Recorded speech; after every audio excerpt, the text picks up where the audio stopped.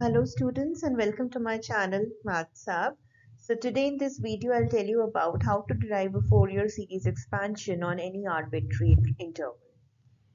So let's check this exercise. So you have to obtain the Fourier series expansion of fx as pi minus x by 2 in the interval 0 less than x less than 2.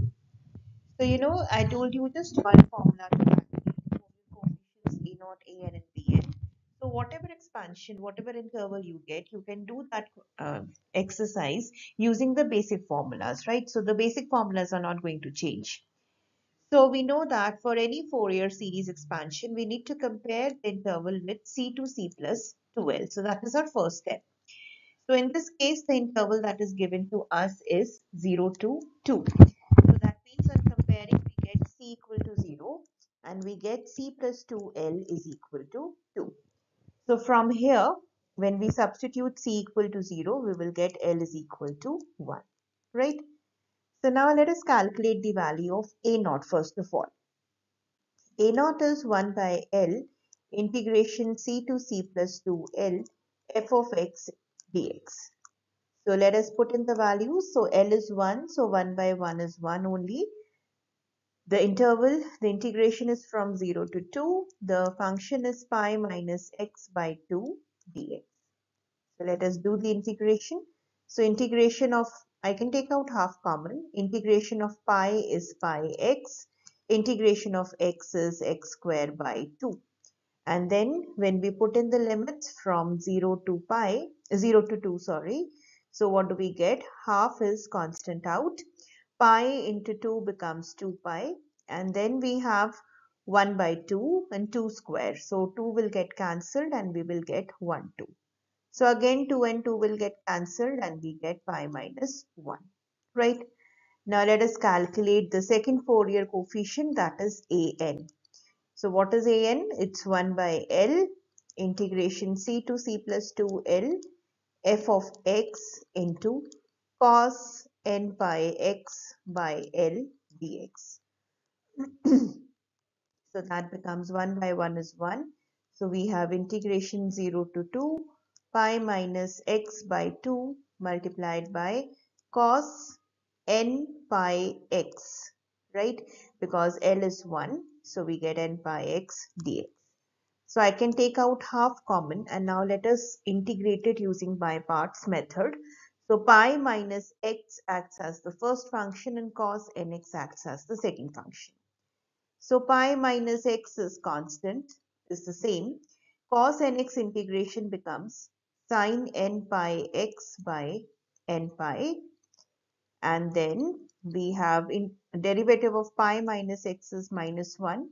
Integration of sine n pi x by n pi will become minus cos n pi x divided by n square pi square, right?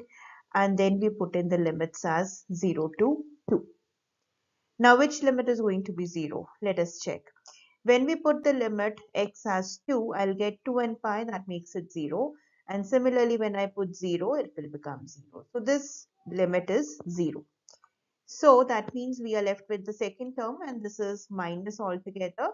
So we have minus 1 by 2 is outside and we get n square pi square, right? And within the brackets we get, when you put the upper limit, it will become cos 2 n pi. And when we put the lower limit, cos of 0 is 1. Now what is 2 n pi, cos 2 n pi? We know that cos n pi is how much? Cos n pi is minus 1 raised to power n. So this term will become minus 1 raised to power 2n which is always 1 that makes it 0 right. So an comes out to be 0. And now lastly we let's calculate bn. So bn is 1 by L integration c to c plus 2L f of x into sine n pi x by L dx. So that becomes 0 to 2 pi minus x divided by 2 I'm writing it outside into sine n pi x dx. So what is the integration? It is half pi minus x will be kept constant. Integration of sine n pi x is minus cos n pi x divided by n pi. And then we take the derivative of pi minus x which is minus 1 and then the integration is minus sine n pi x divided by n square pi square. So now again let's check which terms will become 0. So again you can see sine n pi 2 n pi will be 0 and sine 0 is again 0. So this term is 0 altogether, right? So from here what can be taken out common? I can take out a minus sign common. I'll get minus 1 by 2 n pi and now let us put in the limits. When I put x as 2, so I'll get the first term as pi minus 2 into cos 2 n pi and when I put the lower limit as 0 I'll get pi cos of 0 which is 1 right so I'll definitely get here pi so let's open up the term so this is minus 1 by 2 n pi. Cos 2 n pi is again 1 so this is pi minus 2 minus pi. So pi and pi gets cancelled. Minus 2 will get cancelled with minus 2 and I'll get here. This is 1 by n pi. Right? 2 gets cancelled. Right? So finally what is my Fourier series expansion? F of x is basically a naught by 2 so a naught is coming out to be pi minus 1 so I'll get pi minus 1 by 2 an is 0 right? And then bn is 1 by n pi. So I'll get 1 by pi constant and I can put a summation along n. n going from 1 to n. 1 by n sine n pi right? So this becomes my answer right so that means in any arbitrary interval is also given to us we can use the same formulas to calculate the Fourier coefficients a naught an and bn right so there is a diy for you so please try this question a periodic function of period 4 is defined as fx is mod x in the interval minus 2 to 2 you need to find its Fourier series expansion. So again, I'll give you a hint. How do you define mod x? Or if you draw the graph of mod x, it is like this, right? So it's like this. So you can see that this function is again symmetric about the y-axis.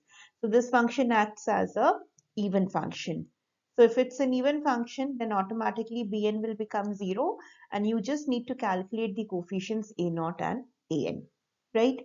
So do calculate the coefficients of A0 and AN and do share your answers in the comment section, right? So that's all for this video. Thank you so much. If you like the video, do hit the like button and those of you who have not subscribed my channel, do subscribe my channel and believe in yourself and you will be able to succeed. Thank you.